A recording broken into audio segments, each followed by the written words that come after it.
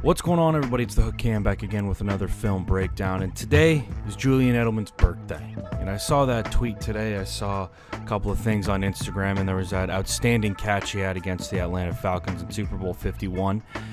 And it got me thinking a lot as to why Julian Edelman is a Hall of Famer. And for some reason, there's this debate where people don't want to admit that Julian Edelman is one of the best postseason receivers we've ever had, and he's a for sure Hall of Famer. Surefire, in my opinion.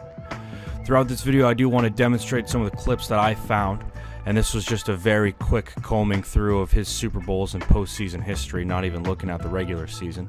And we're going to take a look at some of the most clutch catches in NFL history.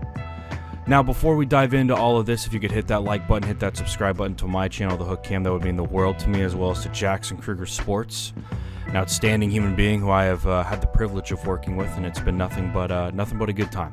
So, if you could hit that subscribe button to both of our channels, that would mean the world to me. And with all that being said, let's dive into this video. Starting off with clip number one, to me, you know, Julian Edelman really came onto the scene in Super Bowl 49. And this was against that Legion of Boom defense who ran, you know, they ran stuck in that cover three or cover one in this video. And it, going into this Super Bowl, there was a lot of chatter of, you know, could the New England receivers, could Tom Brady really hang with the Legion of Boom? And to my, in my opinion, I sat there and said, look, if they try and stretch these guys vertically up the field, they're not going to stand a chance. But if they can stretch these guys laterally, horizontally, force them to cover sideline to sideline, that's where they're going to have success, right? Edelman just on this quick little short motion, just like we saw in that AFC Championship game a couple years back, or actually just last year. And then he's going to run this crosser right across the field. Again, we create that separation just because of the route combination right here. And then Edelman running full speed, catching full speed, and then being able to turn the corner and get upfield. And to me, he's one of the more prolific receivers when he has the ball in his hand. It's so hard to tackle Julian Edelman. He is slippery. He is elusive. This to me is one of the career-defining plays for Julian Edelman, right? And this is that third and 14 where Brady ends up hitting this backside dig for about 16 yards on this, right? Edelman does a great job frictioning at the top of his route and then breaking that thing off again. He's just kind of slow playing it because this isn't Brady's first read on this play.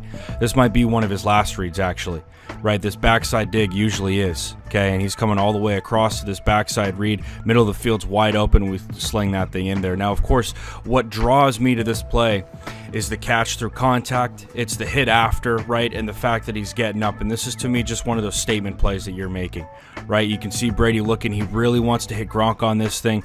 Might have checked, peeked out his check down here, but he steps up in the middle of the field, and that's going to draw Bobby Wagner right to this check down, which is going to vacate a little bit of space there for Julian Edelman right behind Danny Amendola hangs on to the ball uh, after a catch from that feared safety Kam Chancellor, and they're off for a first down and a huge gain. And then we go to later in that drive, right? These are these are literally plays and games that are etched in NFL history and Julian Edelman's at the focal point of these. And check this one out, right? Again, third and eight. We're trying to work again. Seattle's just kind of working that that Tampa 2. Really, they run it a little bit differently. Drop their two safeties here. Bobby Wagner is going to get a little bit of a head on his drop, right? He's a little bit farther back, and they're going to drop one of their defensive linemen. And this is an interesting way to run Tampa 2. It's it's a smart way. It's a different way to run Tampa 2, right? Right here, he's supposed to come up in friction 3, stay right in front of 3. Well, I'm sorry, man. Defensive lineman's got no chance to get against Edelman. He's going to work right into that zone. Brady's going to find him, and there's a big first down. And again, I know what some of you might be thinking a couple clips into this. Cam, he's not working against premier corners. Hell, in the first couple of clips, one of them was against a defensive lineman. Uh, yeah, you're right.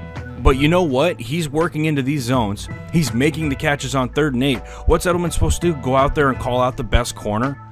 No, that's not how football works. Football works with you making the plays in the situation where you're given that opportunity. Julian Edelman has been given that opportunity throughout his career, and he's made plays time and time again. Here's a, a game-winning touchdown, one to see to to put the Patriots ahead. Right when run this little shake right at the bottom, stem them at the top. Right, yeah, a little push off. Who cares, man? This is a Super Bowl. If you're gonna cry about this, you don't deserve to be there. Push off, get in the end zone. That's a touchdown. Just a big time play from Edelman, time and time again. How about this one? Super Bowl 51, greatest comeback and arguably in sports history. Now, what the Falcons are running here is just a really simple man, right? They're just manned up across the board. They got their two safeties deep, boom, and boom, okay? Now, what Edelman's going to do, he's stemming up the field, right? And he's trying to stack this DB and then get right back into the middle because we know that's where the middle of the field opens up against cover two, right? You can hit it out the sidelines out here with a couple of shake concepts, or you can try and bend across this backer, whoever that middle of the field player is, and find an opening right between these two safeties, which is exactly what the Patriots try to do. Okay, we work past this defensive back who's trying to friction over the top here. This is a tough ball to throw, man. This is a tough ball to throw. Brady tries to throw it, it gets batted, and then Edelman just sticking with it. And once again, this isn't this isn't it, it's it is a superhuman effort more than anything else. That's really what it is to me. And the fact that edelman's not giving up on this play he's not giving up on that ball. It's not just knocked down for an incomplete. He's fighting through it. He's trying to make that catch and he's trying to make a play for his football team. Another just phenomenal performance from him but i do want to highlight some other games so we don't focus too much on super bowl 51 Okay, now the infamous AFC Championship game in Arrowhead. I mean, third down after third down after third down, right? Where we do this short motion and then the crosser through the middle of the field. We're working upfield with our number one receiver, Edelman, just wide open, get him that ball. But again, he's getting hit as soon as he's catching this football.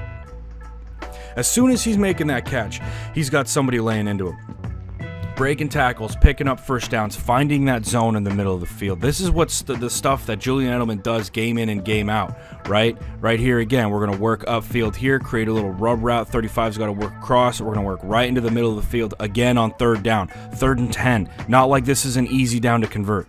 Edelman, ball's right in the breadbasket. Edelman's there for the catch. Uh, that's that's the trust because he creates that separation too. Edwin's great at running across the field. He's great at at this speed where he's going to end up creating that separation. Now here, here's a great little game plan where you motion him across. And you're going to going to get cover three. Motion him back in. Have him start this route out like he's running that crosser, and then he converts this thing into a shake because we know we're getting cover three. 21's going to back off, and there's going to be space right at the sidelines. So Edelman works this thing upfield, breaks it out to the sideline. Great route. Ball's on a line. Great job making that catch and getting upfield for a big gain. Arguably one of his best games was Super Bowl 53.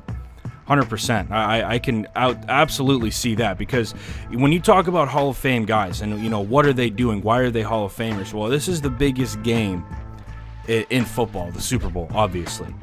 Everybody had their chance to cover Edelman, and nobody could right? Here's Edelman once again. They're sticking with man. He's going to work this thing back out, almost like a little shake or a deep out, whatever you want to call it.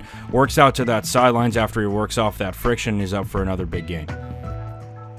To me, Julian Edelman has done everything he needs to do, especially in Super Bowl 53, right? Marcus Peters had his chance. Aqib Talib had, had his chance. Uh, I believe that's Nickell Robey-Coleman. Coleman had his chance.